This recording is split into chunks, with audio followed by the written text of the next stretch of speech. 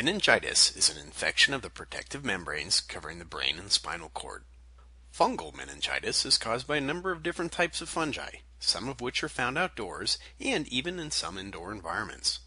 Fungal meningitis gained national attention in 2012 when a multi state outbreak occurred that is believed to be the result of contaminated steroid injections. Hundreds of cases resulted, along with dozens of fatalities. Fungal meningitis is not transmitted from person to person it can develop after a fungus spreads through the bloodstream from somewhere else in the body, as a result of the fungus being introduced directly into the central nervous system, or from a body site infection next to the central nervous system.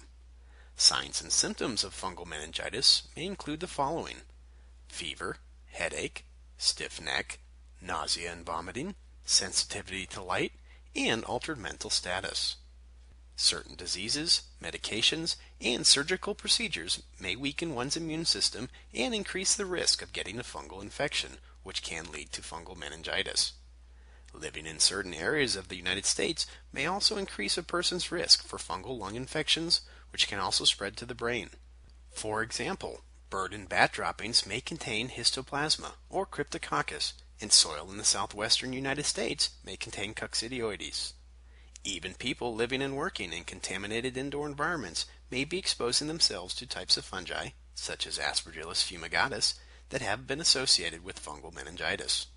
These are just a few things to know about fungal meningitis.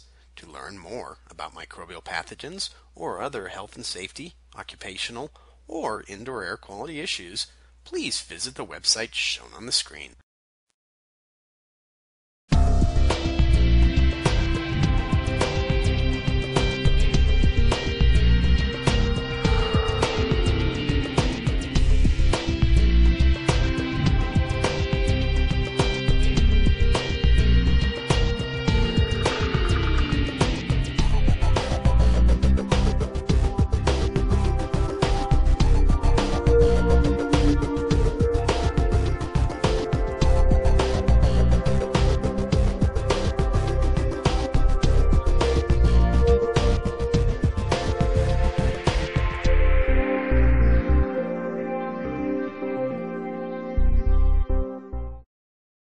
IAQ TV, the place to be.